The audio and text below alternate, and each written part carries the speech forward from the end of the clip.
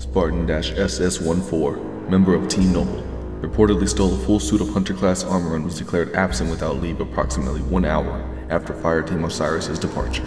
Is there some sort of history of this Spartan, specifically psychological data, that maybe had an influence on this act? Of course, sir. Here we have the Spartan listed in Team Noble. All of the fire team members have been, well, KIA. Are there any specifics on the Spartan's abilities? Um, enhancements? Gen? Yes, sir.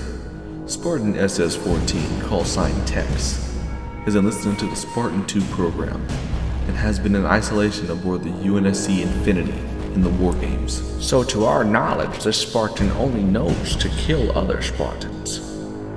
I find that to be concerning.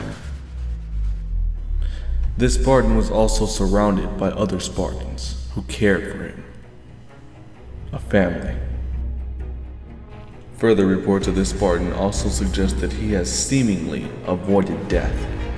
Near death experiences many, many times. After the events on Reach, this Spartan became your responsibility, under your command. Negative, sir. As of August 29th, 2552, that Spartan is the only operative and it's out of my control. When did you plan on letting us know, sir? Eventually.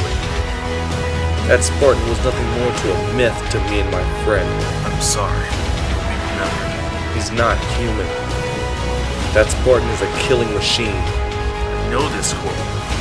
I thought he died on the Reach. What happened? Soon after he killed almost every Covenant in the area, we picked him up for extraction. So what? Now we're gonna use him as one of our little pets? This isn't right, sir. War doesn't determine who's right, Corporal. It determines who's left. So, Commander, what are your plans to deal with this situation? We're sending in another Spartan. To eliminate Spartan SS-14. No, sir. To help Spartan SS-14. The Spartan that we're sending in goes by Espritix.